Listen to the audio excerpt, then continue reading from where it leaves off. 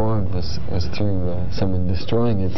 Yeah, actually, I'd, I'd cast the whole wall, and the night before the opening, you know, I'd come to peel it off, and it was the big moment. And I walked in, and the wall was just a pile of torn paper because the the maintenance man in the building had thought it was just something goopy that had come out of the wall and stuck to it. So he'd torn it all off, and it was just in a pile. And at first, I mean, the curator was just uh, beside himself. What are we going to do? And then I thought, no, I'll sew it back together. so I went along the wall and I felt, you know, how the bricks, uh, it was almost like braille, taking each piece and finding the right spot. And I managed to get it all back together and sewed it up. Then it became almost like a map. Mhm. Piecing the uh, piecing them back together. All the work sort of operates that way, almost like a map. Now there are sort of little accents along the wall. There's a, a June bug sticking to one end of the wall. There's a, a I'm not sure what type of fish it is. A That's a flounder, A yeah. flounder, a dried flounder, a shellac dried flounder. Now, how do you work those those uh, elements into it?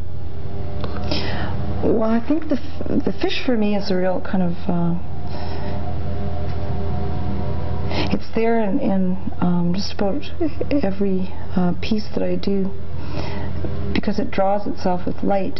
It's down there in the shadows, and uh, much of what I do is drawing with light. Um, I never know how I'm going to order things until I'm in the particular space and I see what I can do with the lighting. And uh, when I think about fish swimming, they draw themselves with light. They catch the light and they glint and they take on the color almost of the water that they're swimming in.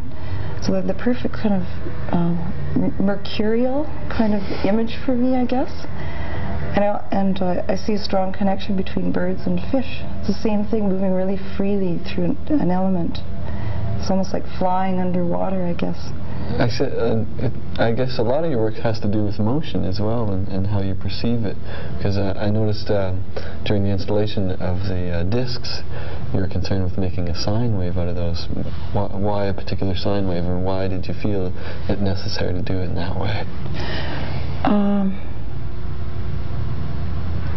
well, actually, in a way, these become almost like uh, serpents when they're up on the wall, which I didn't really notice until they were all hung. They almost take on that continuous kind of wave serpent pattern. Set up this way, they're staggered in the gallery so that they aren't. Uh, uh, I should explain. There's 12 discs on on um, each wall, but they aren't perfectly across from each other, so they imply a continuous wave, kind of alternating. I guess I guess implied motion. Real hopeful thing, I guess. Now, um, along with that, I mean, we've got this, uh, what is this, felt or boot lining or what is this? yeah, it's the kind of felt that I had. Now, uh, again, why, why would you want to put this on the floor, and how do you feel it helps the, the environment that you've created? Well, I I hope to um, the work to be like an invitation where people feel comfortable to come in and sit and spend time, which you often don't in galleries. And uh, I guess I was hoping um, with the felt that it might feel like um, kind of separate, like an island where people could sit. And, uh, I, I just being here and you know through the week, it, it very much softens the gallery to a greater extent. It does feel more sort of comfortable and relaxing, let's say. oh, good. Well, Uh, you're sitting on it, so. Yeah, I usually don't sit during the show. um, and, uh, maybe the last piece that we can get into is the uh, window installation. Again, uh, I guess you've almost, it, it does relate to the other works in the gallery, but you've, you've dealt with the window as a, a separate entity in itself and your approach to that. Um, in the window, I've. Uh, do you want me to talk about the individual pieces or just the whole little environment? uh, yeah, as, as an environment itself. It's also about um, trees and the possibility of, of. I mean, I've constructed a kind of thing. I have no name for for the one piece, sort of branches and cast paper. But once I cast it, it almost looked like hide stretched over. Someone asked me if it was a little mini ceremonial tent, and I hadn't thought of it that way.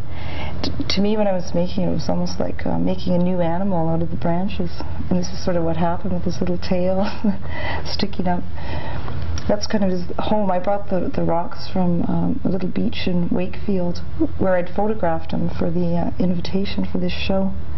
So I brought them along, and those are. his- And the fire, uh, there's some charcoal uh, at the front of the window, and that's um, left over from wood that was burned. I photographed all my artwork for this show at nighttime by the river, the- just by the light of the fire, just uh, this big bonfire. So that's again part of the ritual. Brought along little um, bits, I guess, little remnants, artifacts.